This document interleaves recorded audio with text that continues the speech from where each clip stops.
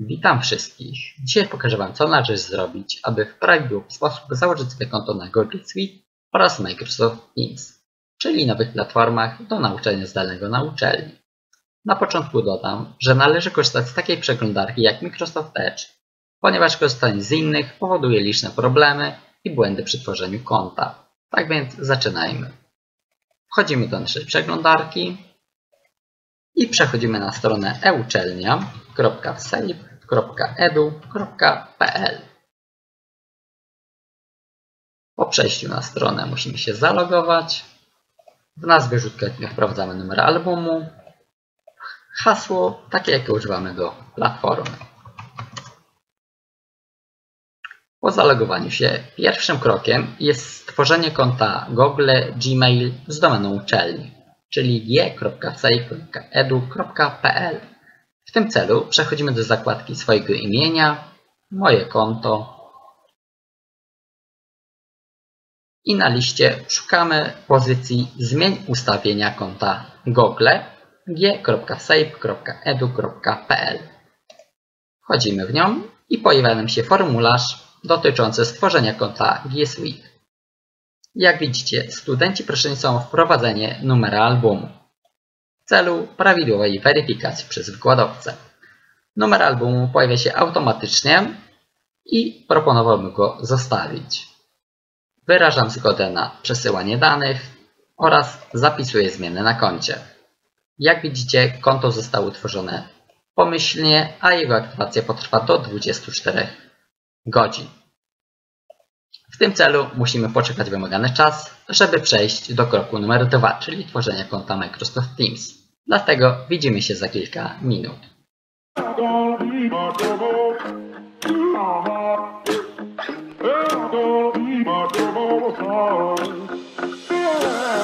Yes, I made a lot of mistakes, yeah. Cause I've been in my way. But I gotta do what it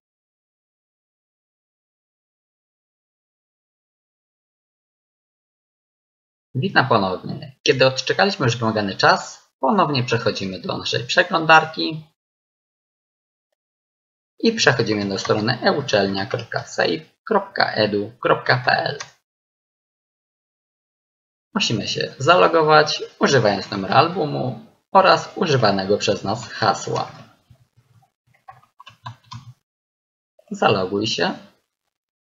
Jak widzicie, w centralnej części ekranu pojawił się mój adres mailowy z domeną uczelni, czyli numer albumu i domena g.save.edu.pl. Tak jak wspomniałem, jest to konto na Google'ach Gmailu. W tym celu przechodzimy na stronę google.pl, aby sprawdzić, czy konto jest już aktywne. Przechodzimy do opcji Zaloguj się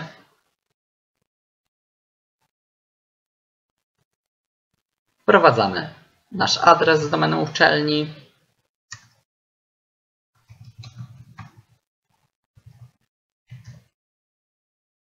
Przechodzimy dalej i wprowadzamy hasło, którego używamy do logowania się na nasze studenckie konto euczelnia.save.edu.pl.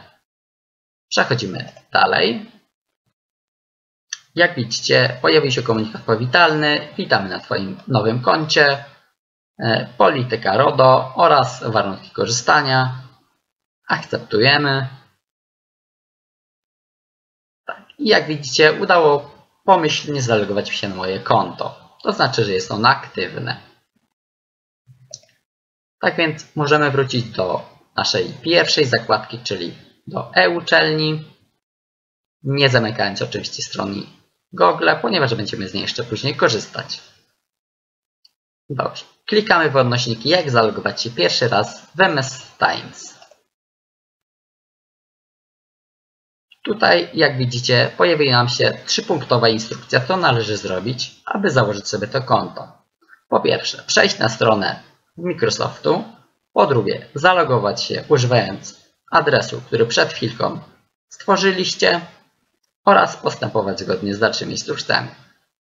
Tak więc przechodzimy do wymaganej strony.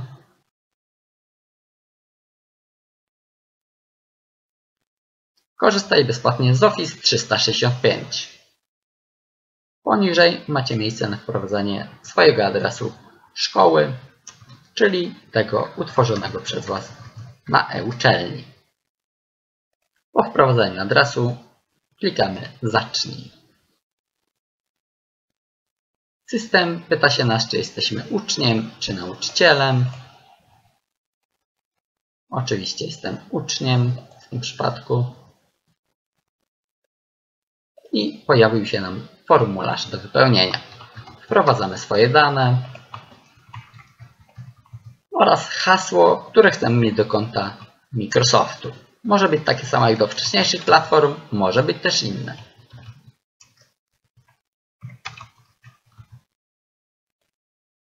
I tutaj ważny komunikat. Wysłaliśmy kod weryfikacyjny na adres 37388 Czyli jest to dokładnie ten adres, na który zalogowałem się przed chwilką na Gmailu. Przechodzę do okienka Google, przechodzę na Gmaila,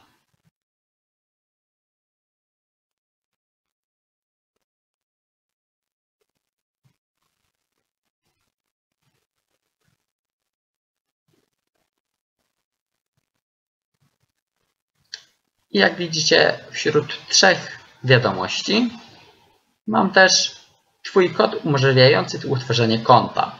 Chodzi dokładnie nam o to.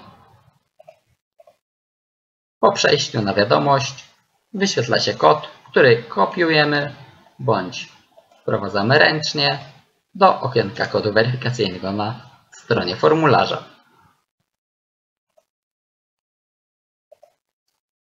I Ważna informacja. Jeżeli na tym etapie pojawia Wam się prośba o weryfikację numerem telefonu bądź mailem, albo jeżeli nie dostajecie kodu weryfikacyjnego, oznacza to, że system Microsoftu zablokował Waszego maila z powodu zbyt częstych prób e, wypełnienia formularza podczas nieaktywnego konta.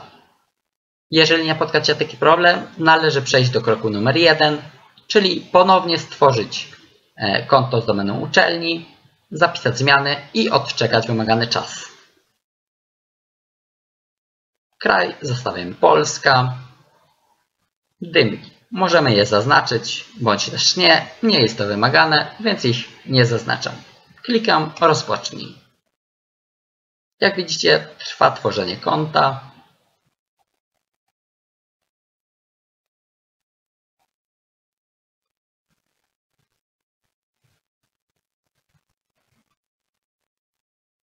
I jak widzicie, proces tworzenia konta zakończył się pomyślnie. Tutaj macie mały samouczek do dyspozycji, co możecie robić i tak dalej. Po zamknięciu go wyświetla się strona powitalna pakietu Office. Jak widzicie, w lewym górnym rogu macie logo uczelni i Office 365. W zakładkach macie wszelkie dostępne opcje, takie jak Word, Excel, PowerPoint, OneDrive, OneNote, SharePoint, Teams oraz Sway. Wszystkie zakładki na portalu oczywiście są do Waszej dyspozycji, jednak dzisiaj skupimy się na zakładce Teams, z której zaraz pokażę Wam jak korzystać.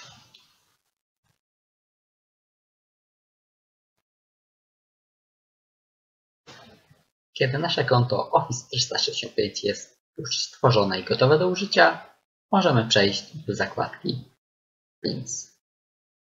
Klikamy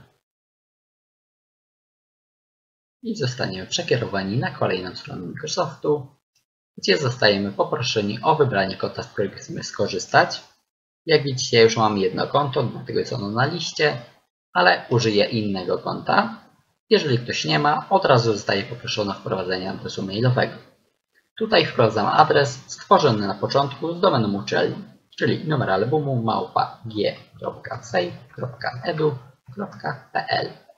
Przechodzimy dalej i wprowadzamy hasło użyte w formularzu podczas tworzenia konta Microsoftu. Zaloguj się. Czy chcesz, aby Cię nie wylogowywać? Jeżeli system ma zapamiętać Wasze dane, klikamy tak.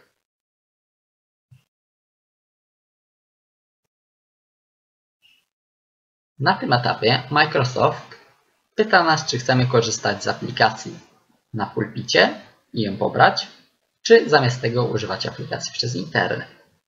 Pokażę Wam oczywiście, jak korzystać z obydwu. Aplikację mam już pobraną i jestem na niej zalogowany jako wykładowca. Jako student użyję na razie aplikacji internetowej. Jak widzicie, zostałem przekierowany na stronę Microsoft Teams, gdzie będziecie uczestniczyć w wykładach zdalnych. Macie tutaj takie opcje jak aktywność, gdzie będą wszystkie informacje dotyczące waszego konta, czat, na którym możecie czatować z innymi użytkownikami platformy oraz zespoły, czyli miejsce, gdzie będą pojawiały się wszystkie wasze przedmioty po ich dodaniu przez was. Metod dołączenia do zajęć jest, są dwie. I zaraz pokażę, e, jak to zrobić. Aby przejść na stronę danego wykładu, oczywiście musimy przejść na, na stronę jego kursu. Wy robicie to przez stronę e-uczelni, moje zajęcia i pokaż kurs. Wtedy zostajecie przekierowani bezpośrednio na stronę wymaganego kursu. Ja muszę niestety to zrobić ręcznie od razu przez e-learning, e, ponieważ nie, nie miałbym docelowego kursu w planie, mm, a na swoim kursie stworzyłem wszystkie wymagane rzeczy, e, które chcę Wam pokazać. Po kliknięciu w Pokaż kurs na planie zajęć pokazuje Wam się strona kursu, na której macie mniej więcej takie informacje. Jak widzicie, stworzyłem tutaj dwie metody, o których wspomniałem, dołączania zajęć do e, Microsoft Teams. Pierwsza metoda to dołączenie przez wykładowcę linku, za pośrednictwem którego możecie przejść do wykładów online. Klikacie na link, żeby przejść na nową stronę i system ponownie pyta Was, czy chcecie korzystać z aplikacji, czy wolicie pozostać e, przez internet. Używam aplikacji sieciowej.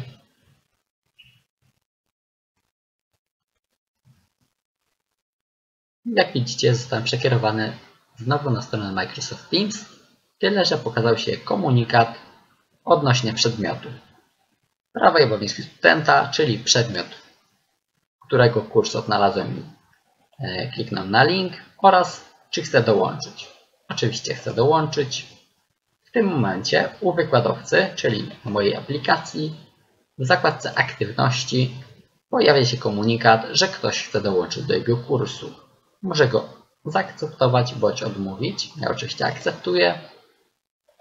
A u studenta pojawia się komunikat, że użytkownik dodał go do zespołu prawa i obowiązków studenta. Po kliknięciu w ten dymek zostajemy przeniesieni na stronę kursu. Ten malutki możemy zamknąć. I jak widzicie, mamy tutaj od razu dostęp do całego czatu, gdzie wszyscy użytkownicy danego kursu mogą ze sobą rozmawiać. Ponadto macie tu dostęp do plików, które były wykorzystane podczas prowadzenia zajęć, notesu, prac i ocen. Zakładki, z którymi na pewno zaznajomicie się podczas korzystania z platformy. Dobrze. To jest Tyle jeżeli chodzi o metodę numer 1 dołączenia do zajęć. Teraz pokażę Wam metodę numer 2. Podobnie musicie przejść na stronę danego kursu, czyli robicie to przez e-uczelnię, moje zajęcia, zajęcia, moje zajęcia, pokaż kurs. Zostajecie przeniesieni na tę stronę i jak widzicie, zajęcia online MS Teams, metoda numer 2. Zapraszam wszystkich na wykład online do MS Teams. Odpowiedni kanał znajdziecie używając kodu i kod jest podany tutaj. Kopiuję sobie ten kod i przechodzę na stronę Microsoftu, gdzie mam wszystkie te zakładki, aktywności, czat, zespoły, I jak widzicie, w zakładce zespoły pojawi mi się zespół prawa i obowiązki studenta, ponieważ zostałem do niego dołączony przez link. Do każdego przedmiotu musicie łączyć tylko raz. Za każdym kolejnym razem możecie klikać e, w dany przedmiot. Jednak jeżeli chcecie dołączyć za pośrednictwem kodu, w wyrogu macie dołącz do zespołu lub utwórz nowy. Klikamy i dołącz do zespołu wpisując jego kod. Wpisujemy tutaj kod podany przez wykładowcę i dołącz do zespołu. Jak widzicie zostałem przekierowany bezpośrednio na stronę kursu. W tym przypadku wykładowca nie musi akceptować Waszej prośby, zostajecie od razu automatycznie przydzieleni do kursu przez system. Jeżeli chodzi o metody dołączania do danego przedmiotu, jest to wszystko. Za chwilkę wyjaśnię, jak uczestniczyć w zajęciach online prowadzących w czasie rzeczywistym.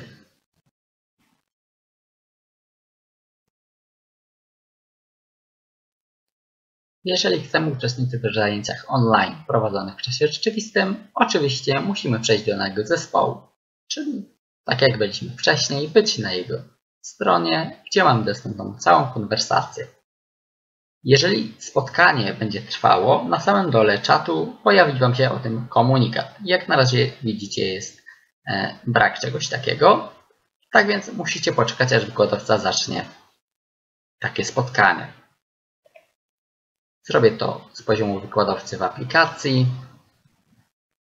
Wybieram przedmiot, na którym chcę prowadzić zajęcia i rozpoczynam jako wykładowca wykład.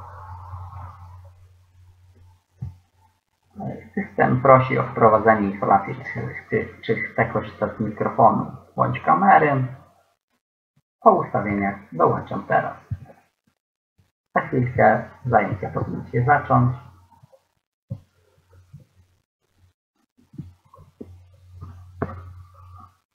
Jak widzicie, zajęcia się zaczęły. Organizator Kamil Rębosz, uczestników jak na razie brak.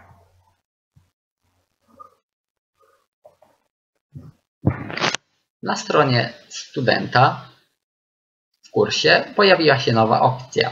Nowe spotkanie w kanale i opcja dołącz. Jeżeli widzicie, że jakieś spotkanie trwa i możecie niego dołączyć, znaczy się, że wykładowca rozpoczął wykład i należy w nim uczestniczyć.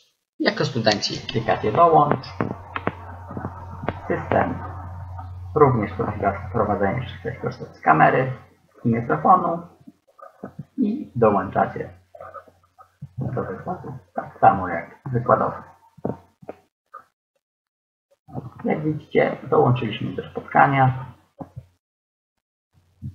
Widzimy, że prowadzącym jest E, Kamil Rębosz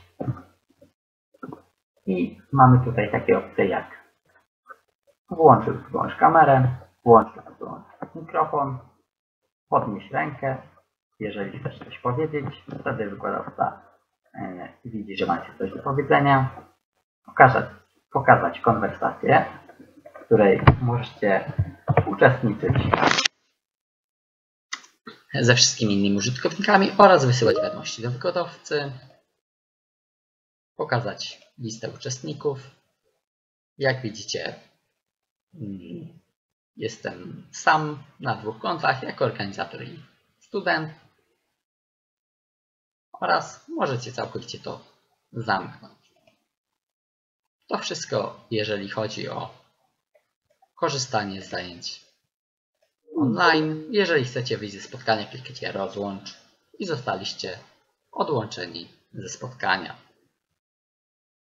Jako wykładowca też zakończę spotkanie, żeby nie trwało. I jak widzicie, na stronie studenta też spotkanie dobiegła końca, nie może już w nim uczestniczyć, ani do niego dołączyć. To wszystko, jeżeli chodzi o zajęcia online w MS Teams. Na samym końcu pokażę Wam jeszcze, jak można pobrać aplikację, z której łatwiej korzystać.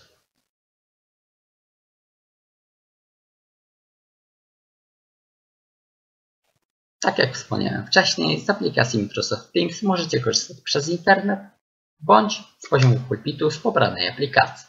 Myślę, że jest to dużo wygodniejsze i szybsze i w celu pobrania aplikacji musimy otworzyć sobie przeglądarkę i w pasku wyszukiwania wpisać MS Teams aplikacja. Wyszukujemy hasło i jak widzicie pokazało się pobieranie aplikacji klasycznej i mobilnej Microsoft Teams na stronie www.microsoft.com. Przechodzimy do strony i mamy do wyboru pobrać na komputer bądź dla urządzenia przenośnego, ponieważ z aplikacji możemy korzystać również przez telefon. W tym przypadku klikam pobierz dla komputera i jeszcze raz pobierz aplikację Teams dla systemu Windows.